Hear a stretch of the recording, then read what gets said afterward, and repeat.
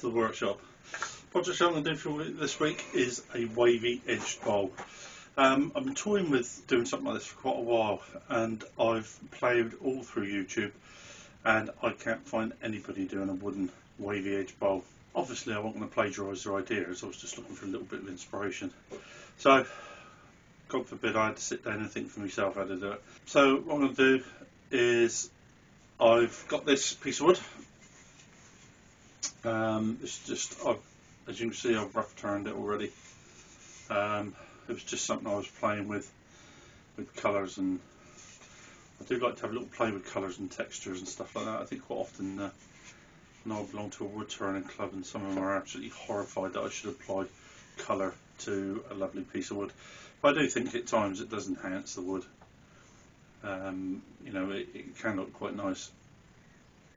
So anyway, um, what I'm going to do, because as I say, the object of today's exercise to do the wavy edge bowl. Um, you don't want to watch me turn another bowl. There's thousands of those all over YouTube, people turning bowls. So what I'm going to do is use this that I used as uh, an old blank. Um, I need to change the shape of it slightly because what I want is a, um, a thicker, that's where that flares up there, I actually want that to come in there with a more pronounced rim on there that we can then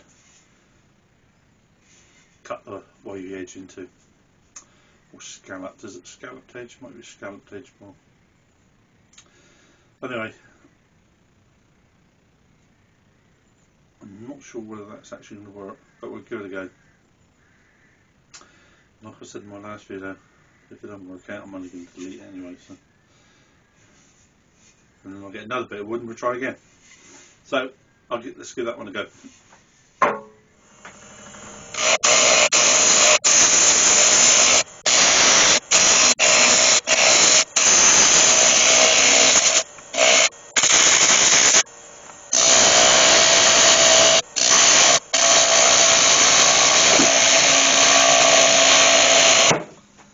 Okay, that's good. It's pretty the uh, pretty much shape I want just show the bowl, but it's more of that rim there.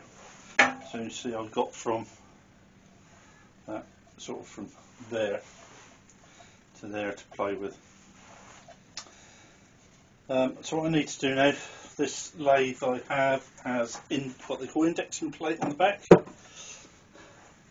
and I can lock that in and it locks into place and there's 24 segments on there. So that is what I'm going to use. So what I'm going to do is just mark a line on there and one on there. Turn the segment and again. Oh, and again. And I'll just carry on working my way around the ball.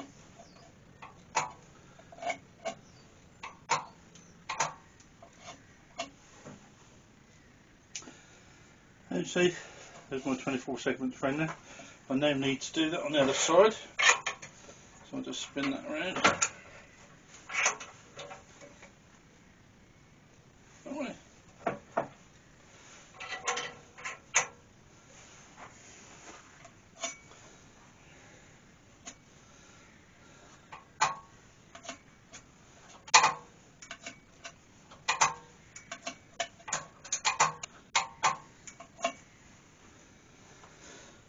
Right, the other thing I need to do is mark the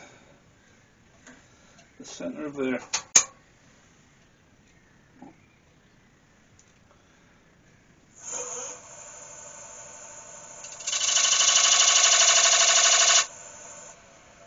So here's the bowl. You can just make out on the left hand side the lines. They don't show up very well under this light. You can see the lines, there's 24 lines right the way around the bowl.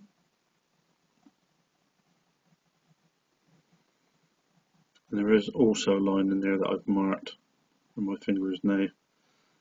And that will be the inside of my bowl.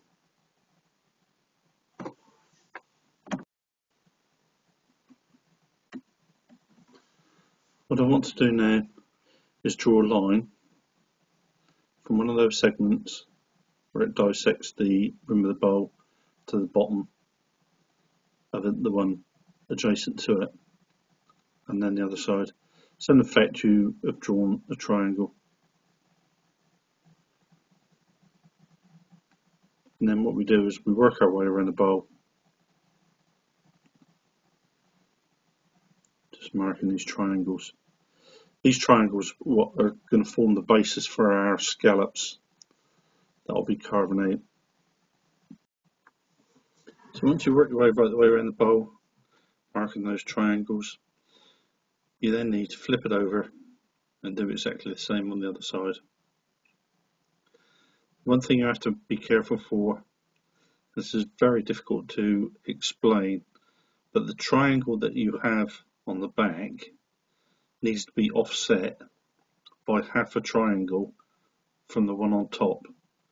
Because obviously when you start carving your scallops, the low point of the scallop on the back will be the high point of the scallop on the front, which will give you your wavy edge.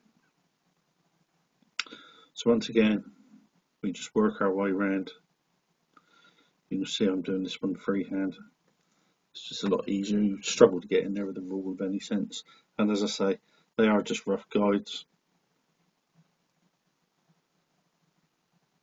So we just work our way around the bowl until we can have all our triangles again.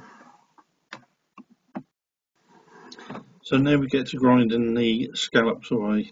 I have a swan neck grinder fitted with a sabre burr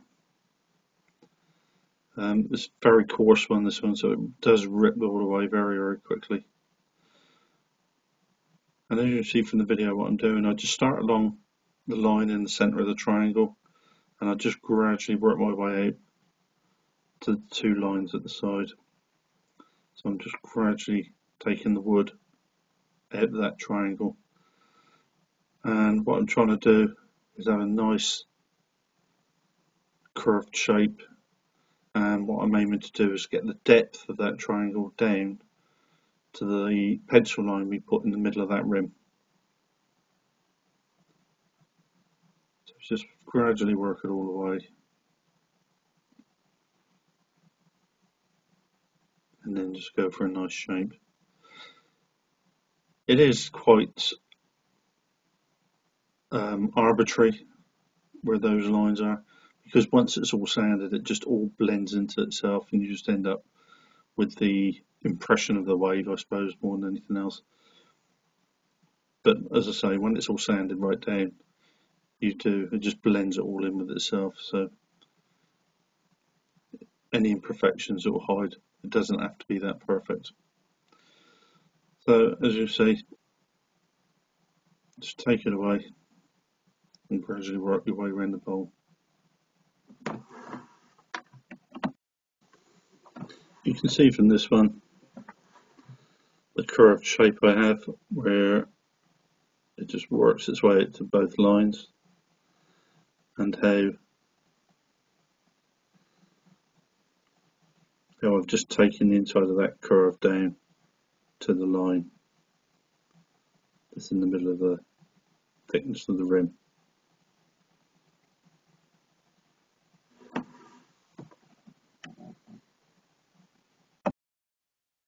So what I'm going to do now is just work my way around the bowl, just grinding the scallops away. This is quite a long job, so I'll get back to you once I've finished it. As you can see from the shot, I've worked my way right the way around the bowl. And you can see the scallops, not that clearly, but you can see them. So I just worked all the way around, clean them all down. And with that dye you can they actually show up a lot better. But you can also see from that shot that um, you know they're not all perfectly equal. And there you can see quite clearly that scalloped edge.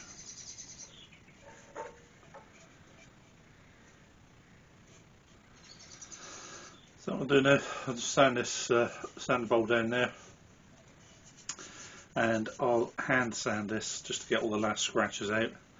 Um, when you come across that piece there, because it's with the grain, it's quite easy to sand all across there. But when you get in there and you've got to go with the grain, you've only got that tiny little piece on there. You're just back and forth. That's quite difficult to do. But as I say, when you're doing with the grain, you can do it quite easy there. So um, I'm just going to sand it all down, sand and sealer, and wax, and then that'll be finished on the back. Well, I've gone in I've sanded that down. I've sanded this piece on the machine. All of this I went and sanded it all by hand. I'll just put some sand and sealer on here now.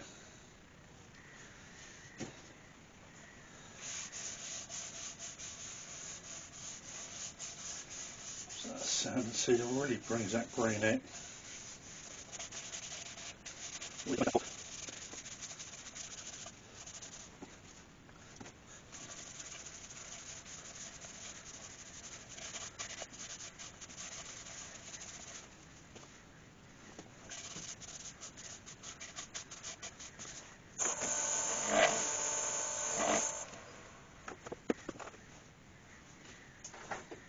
Sand.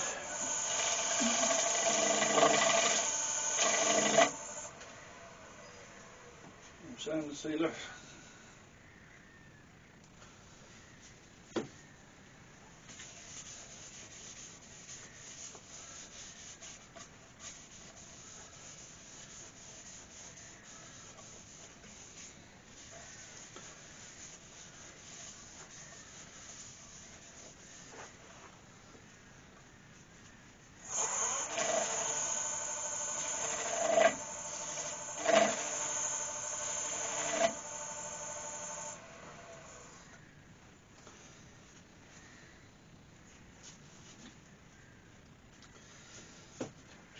Side. And the I've got to do that side at the same time.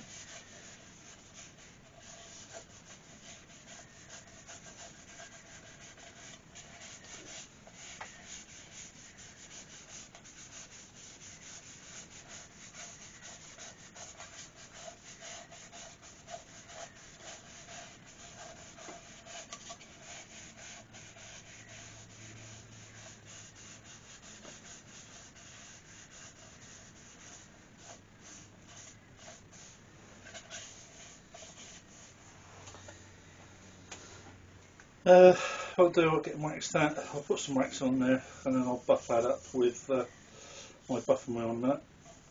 I'll just put some wax and polish that up.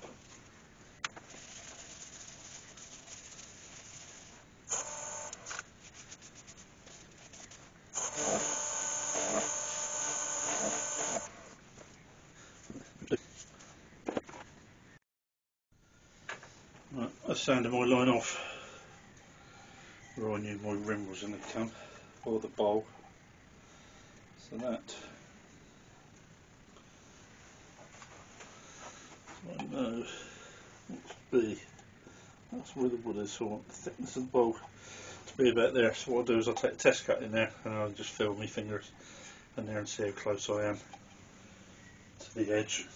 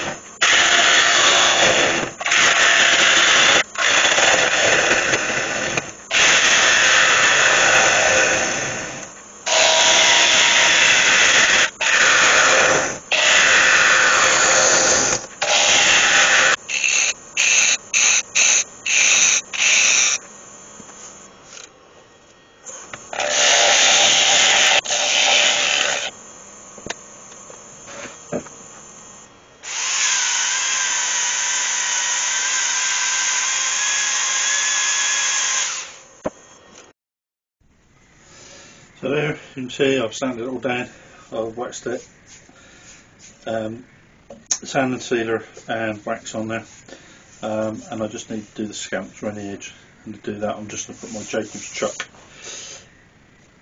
in my four chuck my, with my buff and wheel. So there you have uh, my four chuck, my Jacobs chuck and my buff and wheel and then what I can do is just work my way around and just polish up in those inside of those scallops.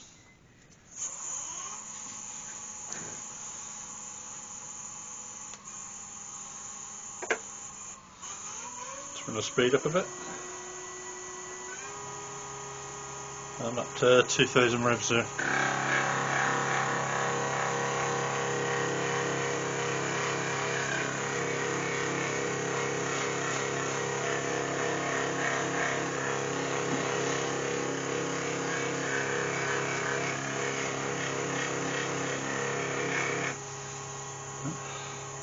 So I've already applied um, some wax to there by hand with, um, I put sand and sealer on there after I sanded it obviously.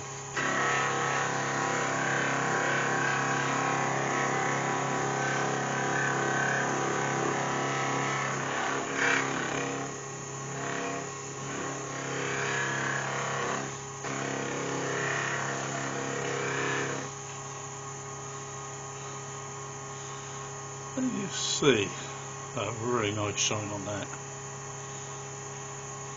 Even, it even shows up the scallops on there. On there.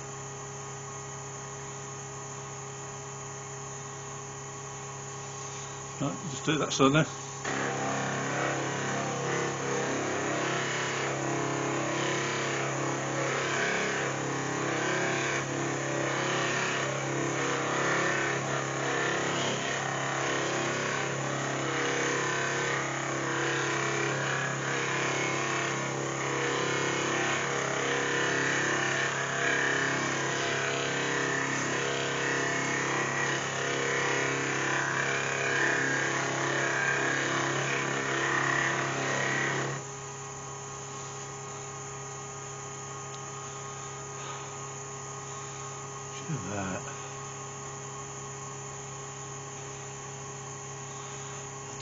Hampshire sheen is some really good stuff. You get a beautiful shine on that. So, here we go YouTube world. All done, all completed. Just look at that gorgeous shine on there. Isn't that absolutely beautiful? Let's have a closer look, shall we? Look at that.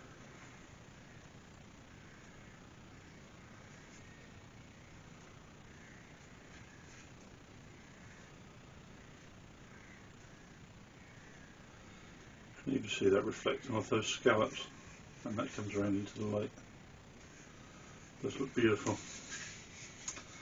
And on the back.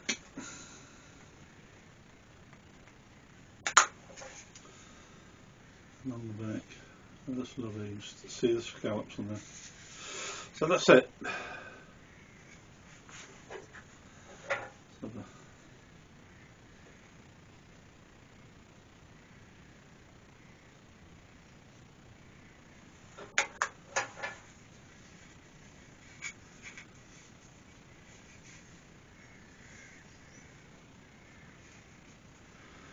After I made that one, I had a quick experiment. I made another one, so I've got a few bowl blanks over there, and this one I've cut a thicker rim on there, so it's a lot more pronounced. I don't think you could get much thicker than that, to be honest, because I think you'd, because you've still got that thickness in there. Although you get more pronounced scallops on there, that would be that much thicker and I think that would look a bit odd. So there we go. Does get lovely shine off that Hampshire sheen, that really does.